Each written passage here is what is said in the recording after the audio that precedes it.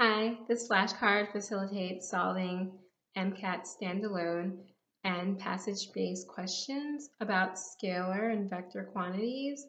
This is a Physical Foundations of Biological Systems topic, area 4A, translational motion.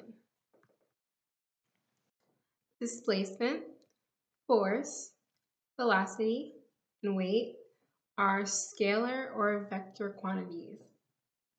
So what type of quantities are these four things?